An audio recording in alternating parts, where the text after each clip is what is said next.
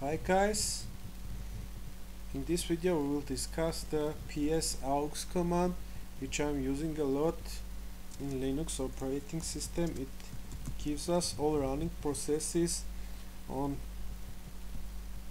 current machine and you can filter the output by typing pipe grep and say SSH and as you can see I have several SSH processes here.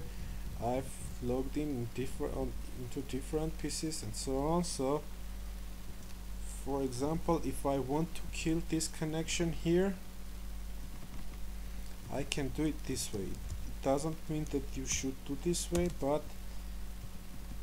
just in case you, you should now you know that it's possible and, and sometimes you will be forced to do that.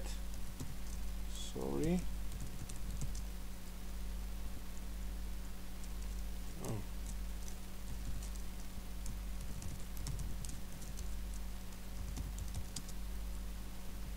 kill. I shouldn't became the super user sorry. And you can kill kill that process.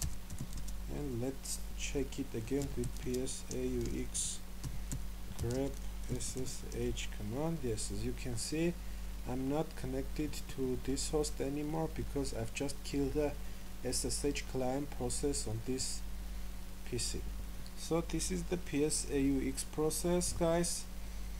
Share your experience ask questions in comments and see you in other videos